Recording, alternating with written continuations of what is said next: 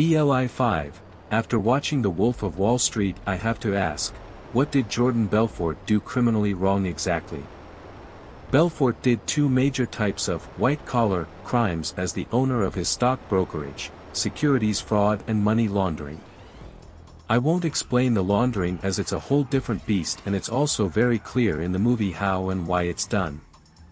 For securities fraud, he used high-pressure sales tactics to mislead average people into buying junk securities and collecting commission or pushing people to buy junk securities which were used in another type of securities fraud scheme, the pump and dump. Essentially, Belfort and his outdoor friends bought dirt cheap junk stocks for pennies per share in total secrecy.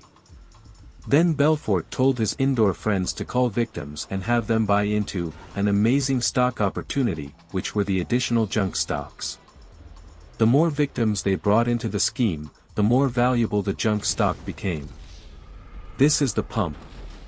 However, before the internet, the victims had no idea what the stock was worth in real time. They just knew the stock was rising through delayed tickers or in the papers. Additionally, the victims could not sell the junk stocks and cash out. Belfort used high-pressure sales to keep them in the game. After all, the only way to sell your stock was to go through the same charismatic guy who sold it to you in the first place. Of course he's going to butter you up and get you thinking about all the money you will make. Now, once the junk stock rose high enough, Belfort would tell his outside friends to dump everything and cash out. This is the dump. The victims would be stuck with a worthless stock because they couldn't sell fast enough. They were left in the dust. Using random numbers, Belfort would get 1M shares for $10,000 investment, pump the shares up to $3 per share, and then dump them for a profit. This is fraud.